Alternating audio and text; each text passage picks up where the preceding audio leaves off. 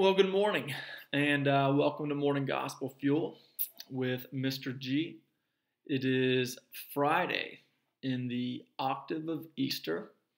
Uh, it is Friday, April 9th, and it is the feast day of Saint Casilda of Toledo, which is located in Spain.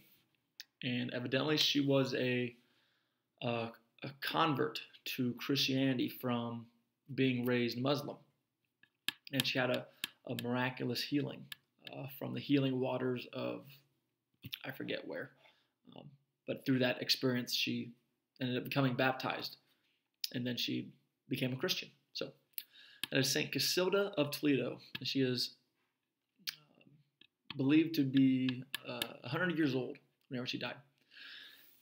Anyway, to today's gospel, it is from John chapter 21 verses 1 through 14. Let's begin in the name of the Father, Son, and Spirit. Amen. After this, Jesus revealed himself again to his disciples at the Sea of Tiberias.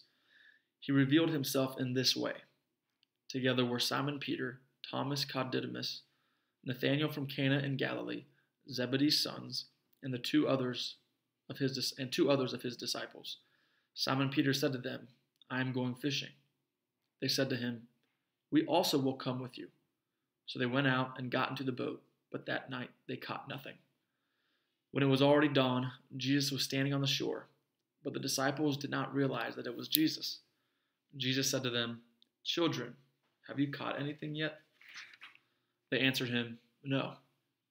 So he said to them, Cast the net over the right side of the boat, and you will find something. So they cast it, and were not able to and were not able to pull it in because of the number of fish.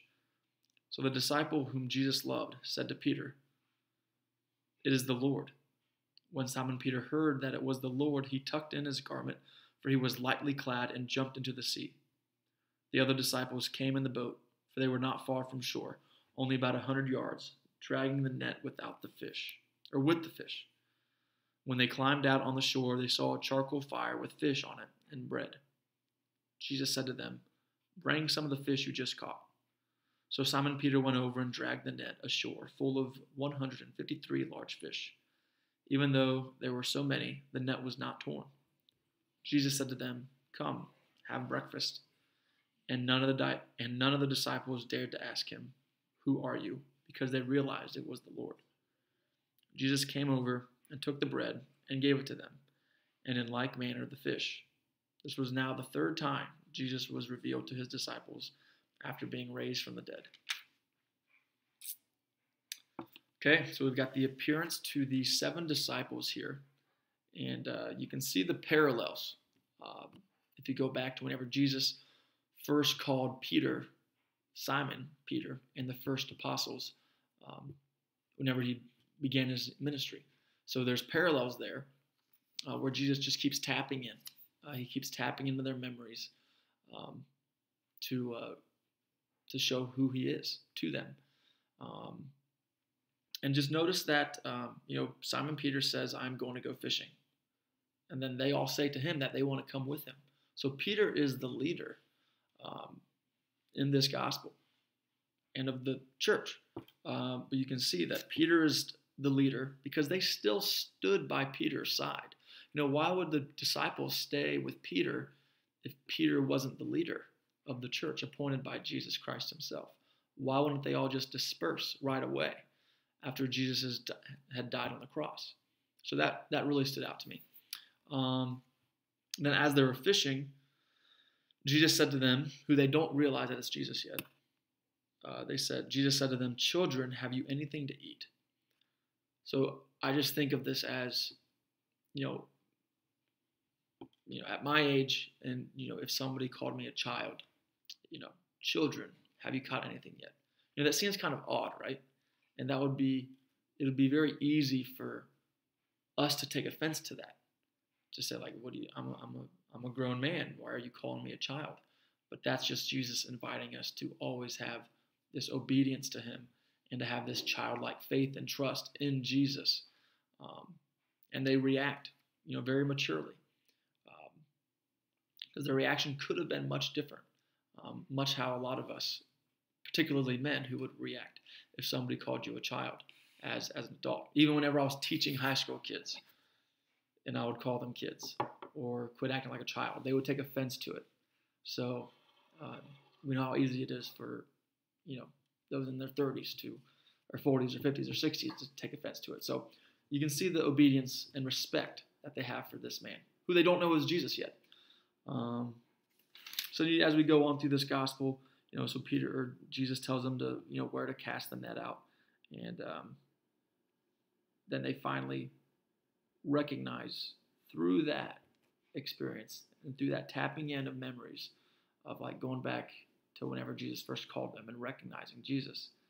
And through the hearing of his voice, it says, When Simon Peter heard that it was the Lord, he tucked in his garment, for he was lightly clad, and he jumped into the sea. So Peter has this, this true devotion and this true commitment and true obedience to our Lord that he can't wait. He needs to go see the Lord, that he tucks in his garment, he jumps into the sea, and he swims to Jesus because he wants to be with Jesus that bad. And I'm sure part of his guilty conscience um, still feels bad for denying Christ uh, whenever during his passion. So you can see this, uh, and I forget where it was in the New Testament yesterday in yesterday's New Testament reading, of which Peter, um, Jesus asked Peter if he believed in him three straight times to make up for the three times that he denied him previously. So that's uh, uh important. Um, so then, you know, as there's a there's a footnote here um, that of the symbolic meaning meaning behind the number 153, um, but I'm not going to talk about that because I can tell I'm already getting a little long-winded. But you can just see that you know as we go through here, Jesus eats with them again, um, and this is the third time that Jesus is being raised from the dead or the third time, not that, not that part, sorry. It's the third time since Jesus was raised from the dead that he revealed himself to his disciples. So he, he, because he, he knows the human weakness and he knows that we need to confirm different things. Um, and that if we just see it once, we still get skeptical. So Jesus is persistent and he wants to provide that clarity and surety of making sure that, that the disciples indeed know, believe, and trust that Jesus is who he says he was and who he still is. And that has to be the case because um, he wanted to get the church started on the right foot. And, you know, if, he, if, if Jesus wasn't persistent and didn't do this to the disciples, the church would never have developed into what it is today as the Catholic Church, nor would it have been able to sustain itself throughout the course of history into the present day.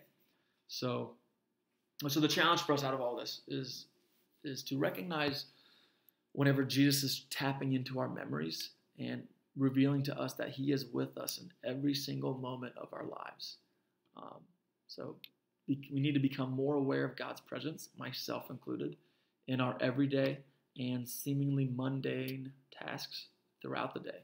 And um, so that's a challenge today and, and every day. So have a great day. God bless. Keep it real. Amen. In the Father, Son, and Holy Spirit. Amen.